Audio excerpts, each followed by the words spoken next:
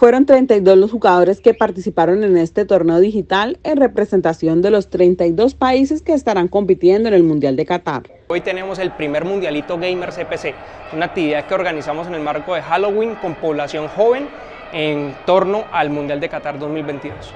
Hoy tenemos 32 participantes que fueron seleccionados al azar después de una lista de inscripción que hicimos por internet a través del BIT. Seleccionamos 32 que representan cada uno a una selección clasificada al Mundial de Qatar 2022.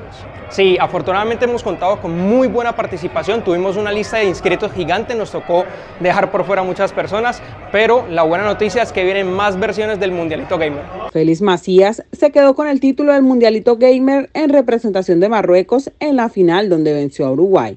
Nosotros esto, esto refleja lo que vamos a encontrar a disposición en el Centro de Emprendimiento BIT de la Comuna 7.